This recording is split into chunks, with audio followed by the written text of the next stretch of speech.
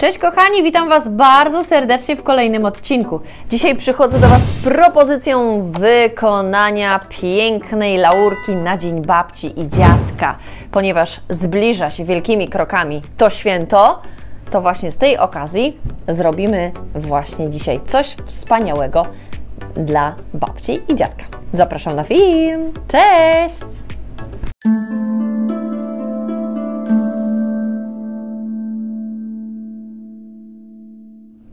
Do wykonania takiej pracy plastycznej, takiej laurki dla babci i dziadka, co będziemy potrzebować? Będziemy potrzebować, kochani, kartka z bloku technicznego. Ja wykorzystam białe kartki z bloku technicznego, ale zaraz Wam pokażę, że możecie użyć również innych kolorów.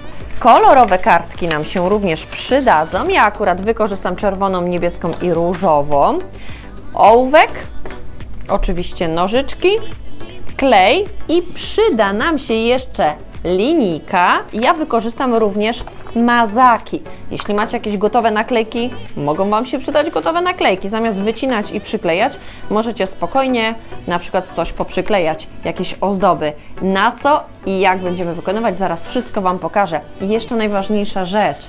Wykorzystajcie zdjęcie. Ja mam zdjęcie moich dziewczynek i to zdjęcie właśnie wykorzystam, ale równie dobrze nie muszą być to, y, nie musi to być zdjęcie. Możecie wykorzystać na przykład y, jakieś życzenia.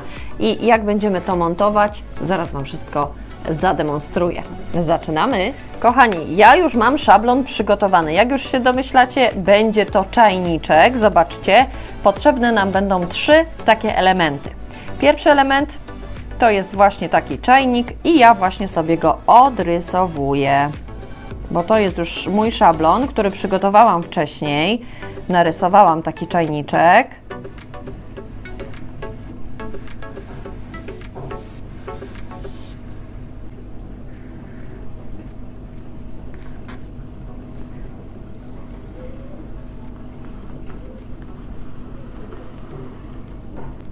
Teraz dorysuję tutaj elementy, niektóre, których mi tu brakuje. O, Tutaj na przykład.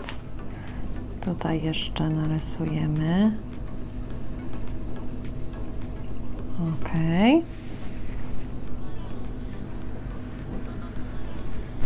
Teraz przykrywkę do czajniczka. Również rysowałam wcześniej.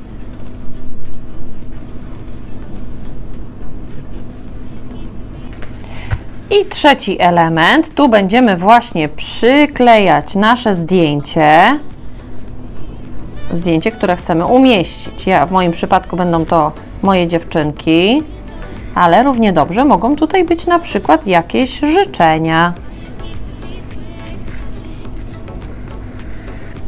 Kochani, teraz czarnym markerem odrysuję te nasze, yy, nasz czajniczek i tą nakrętkę. Tego nie trzeba tylko będę obrysowywać ten czajnik i tą pokrywkę. Obrysowałam i jest już, zobaczcie, gotowe. Zaraz będę to wycinać.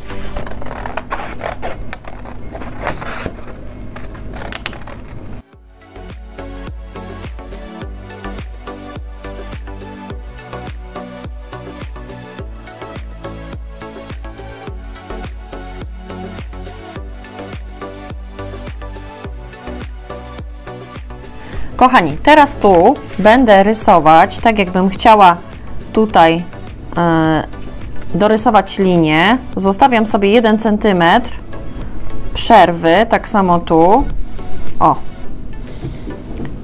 taką kreskę i teraz od brzegu do dołu, do około 9 cm rysuję sobie linię przerywaną.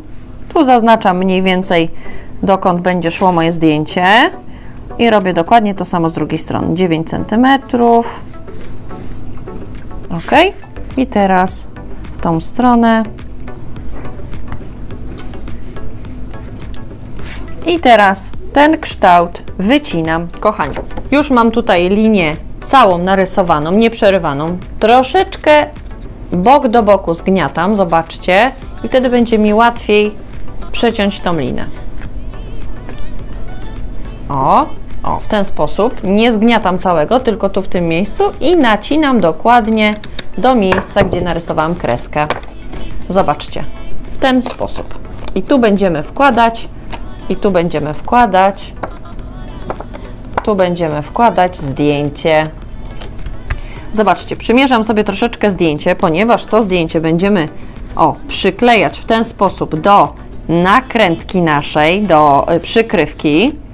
O, i mniej więcej, żeby było mniejsze, zaznaczam sobie miejsce, gdzie będę nacinać. Nie musi być całe takie długie. Dobra, i nacinam teraz zdjęcie, popatrzcie.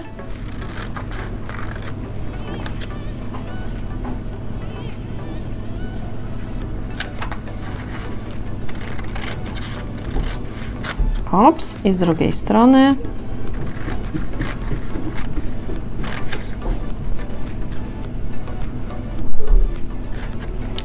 Taki, zobaczcie, wyszedł kształt kapelusika. I teraz wkładam zdjęcie tutaj. O, tak żeby nam, zobaczcie, nie wyszło, widzicie? Po to to jest, żeby nam nie wyszło. I tu, w tym miejscu przyklejam właśnie tą przykrywkę. Posmaruję sobie zdjęcie. Ok.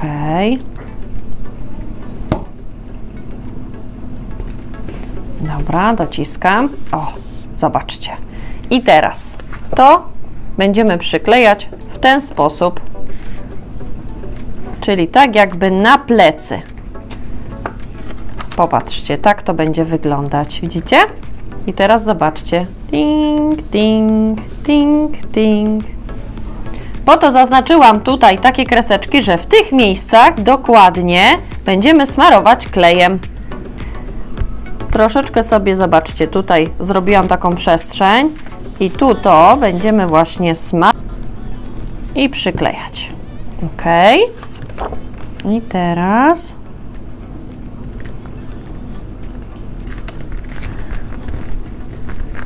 tak i dociskamy. Zobaczcie, nic nam nie wystaje. O, przyklejone. I teraz wyciągamy zdjęcie, proszę bardzo. I wkładamy. Hops. Zobaczcie, kochani, taki czajniczek już mamy gotowy. Teraz tylko wystarczy, że go ozdobimy. I ja do tego wykorzystam kolorowy papier. Może narysuję kilka serduszek, poprzyklejam, jakieś kwiatuszki narysuję. To, co Wam przyjdzie do głowy, słuchajcie, możecie sobie naprawdę tu narysować, ozdobić. Ja zrobię serduszka. Ok, powycinam. Kilka serduszek, poprzyklejam.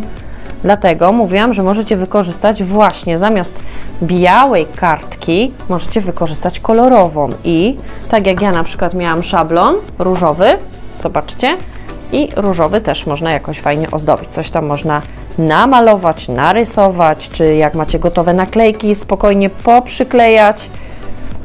Ozdabiamy.